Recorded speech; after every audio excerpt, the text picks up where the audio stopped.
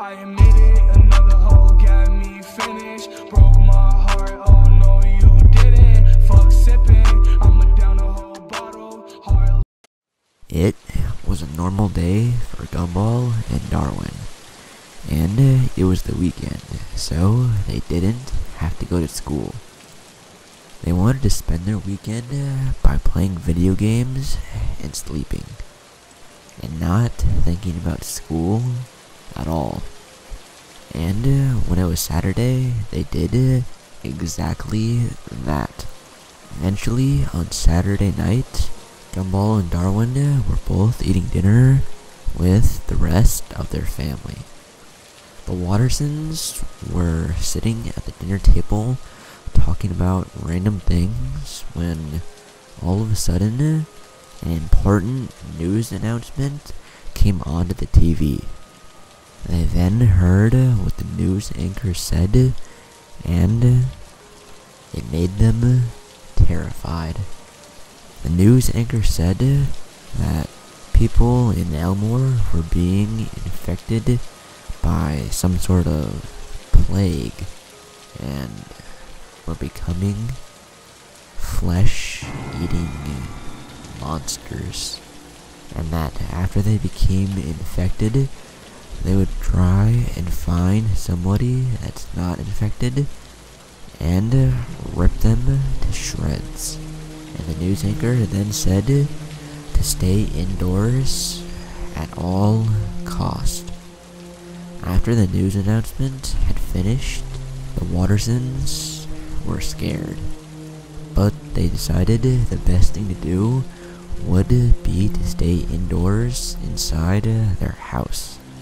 And then they heard uh, a scream outside and someone yelling, Help me. And then they heard uh, some sort of growl type of noise. Eventually, they didn't hear the person yelling for help anymore. Nicole said the best thing to do would be to go to bed, and so that's what all of them did. A couple of days had passed, and all of them were still reeling from the fact that people in Elmore were becoming zombies. And while the Wattersons were eating dinner that night, they heard a pounding at the door. The pounding turned into slams on the door. The Wattersons knew they had to leave their house. So they ran to their back door, which led to their backyard, but their backyard was surrounded by zombies.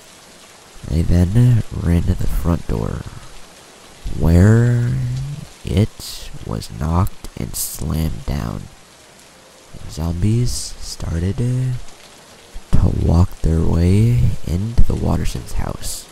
They then uh, ran upstairs, knowing that that was the only way out.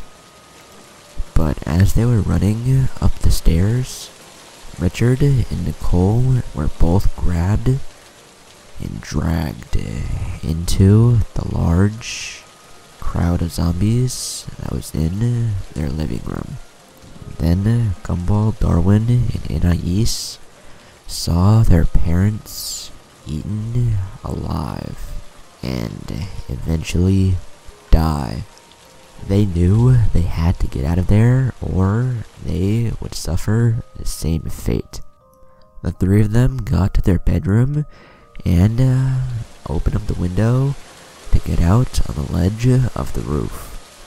Once they did, Anais slipped and fell off into the crowd of zombies.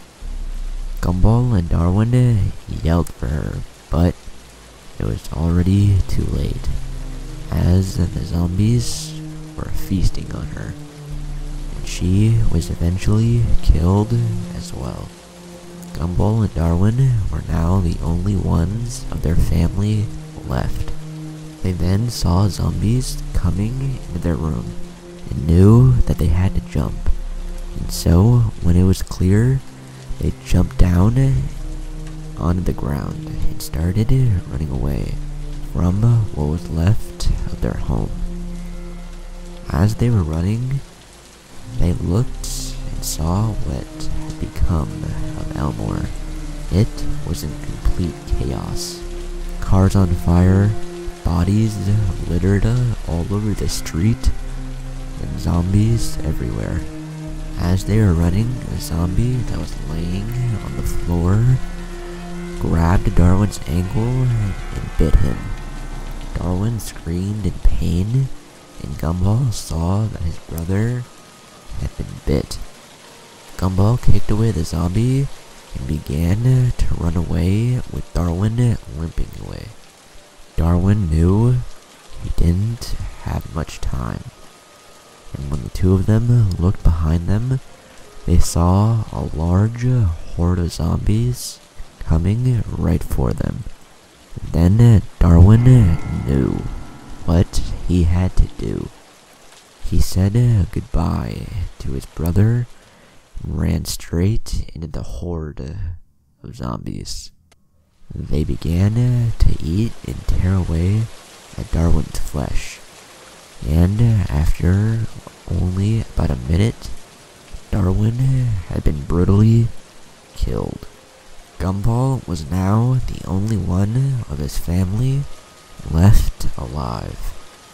He didn't know what to do or where to go. So he decided to just start running. And as he was running, he saw his friends as zombies. Most of them were dead or were eating one another. And he realized he had come across the school. Gumball realized that they must have ran there for safety, but when they saw a large horde of zombies, it was already too late. And that's when he saw them.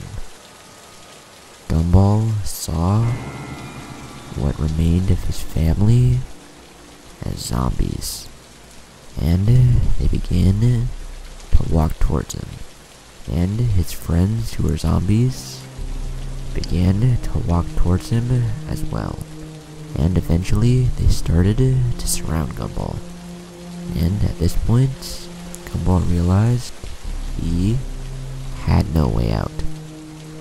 So he could do nothing else but just to accept his fate. The zombies closed in and began to eat and tear away at Gumball's flesh.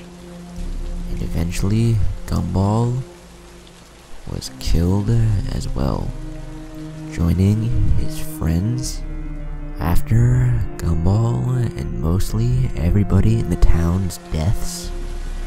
The zombies would start to eat and uh, infect the remaining survivors.